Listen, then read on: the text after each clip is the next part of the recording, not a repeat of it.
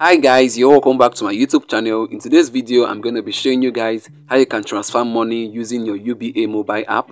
So guys, it's very easy to do. You can easily send money to anybody, whether the person is using UBA or any other bank. So guys, I want to show you guys how to do it and if you want to learn it, just make sure you follow me to the end of this video. And also if you're new to our YouTube channel, don't forget to like, subscribe and leave a comment as that will tremendously help grow our YouTube channel. So guys, without any further ado, let's get started. So guys, the first step you have to take now is to go over to your UBA mobile app. So let me tap on it. So guys, once your UBA mobile app opens up, what you need to do now is to sign in. So let me sign in real quick. So guys, now you can see I've inputted my password. So let me tap on sign in.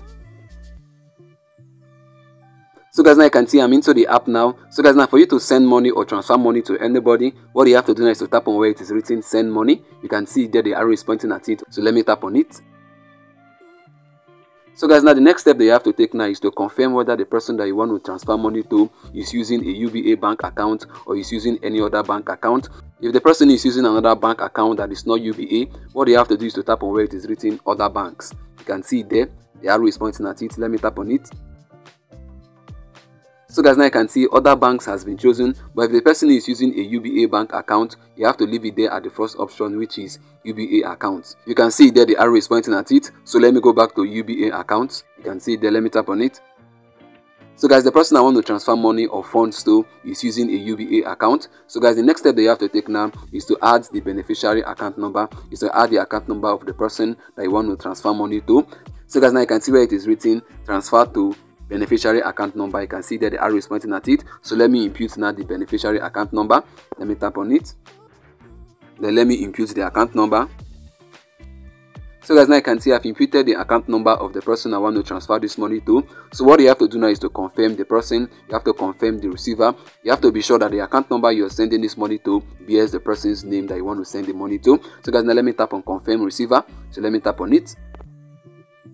So guys now you can see it's loading so guys, now you can see the name of the person is out, the name of the person who has the account number, you can see right there. So what you have to do now is to scroll downwards. So let me scroll downwards. So guys, now you can see the next step now to take is to add the amount that you want to transfer to the person, add the amount, the amount of funds that you want to transfer to the person. So guys, for you to do that, you have to tap on where it is written amount. So let me tap on it. Then let me impute the amount right away. So guys, now you can see I've imputed the amount of money I want to transfer to the person. So the next step you have to take now is to impute your narration. So guys can see where it is written narration, the arrow is pointing at it. So what's the reason for sending this your money? Let me say you want to pay for hospital bill. You can go ahead to write hospital bill under the narration. Maybe you want to pay for the provisions or the foodstuffs that you bought in the supermarket. You can go ahead to write it there, foodstuffs and provision. Or maybe anything you want to pay for NEPA bill, you write NEPA bill under narration. You can see that the narration should not have more than 35 characters. So guys, let me go ahead now to impute the narration. Let me type it in. So guys, like I said, you can put anything in the narration that the person that you're sending the money to will understand. Maybe you want to pay your house rent, you can just put house rent under the narration. Anything that you want to pay for the reason, just put it in. So guys, let me just put um class contribution. Let me impute class contribution as my narration.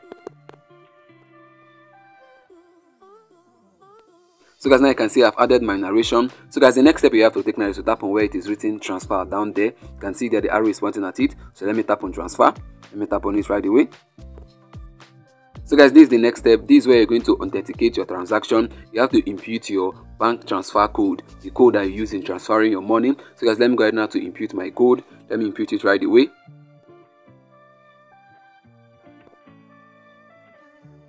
So guys, now you can see I've imputed my bank transfer pin, the pin that I use in transferring my money in my UBA bank. As you can see, it's normally four digits. So guys can see. So after that, what you have to do now is to tap on the good. You can see the good there, the good icon there, the arrow is pointing at it. So let me tap on it. So guys, now you can see it's loading. So guys, now you can see they're asking us a question. Are you sure? UBA Bank want to be sure that the amount that you're sending is actually the amount that you want to send to the recipient. And you can see the total fee, the fee for transferring is actually zero because I'm transferring from UBA Bank to UBA Bank. But if I'm transferring money from UBA Bank to another bank that is not UBA, I'm going to be charged a fee. But you can see here, I'm charged zero fee. There is no fee. I'm not charged at all because it's from UBA to UBA. So guys, what you have to do right away now is to tap on OK. So let me tap on it. So guys, now you can see it's processing our transaction. Let's just wait for a few seconds. So guys, now you can see successful. You have successfully transferred 10,000 to following name the bank name the bank account number. So guys now this is how you can actually transfer money transfer funds using the uba mobile app. So guys i've come to the end of this video and i believe you got value from this. If you did make sure you like subscribe and leave a comment. And also if you're new to our youtube channel don't forget to like subscribe and leave a comment and hit the bell notification so that whenever i release a new video like this you're gonna get notified. See you in the next upload. Bye bye peace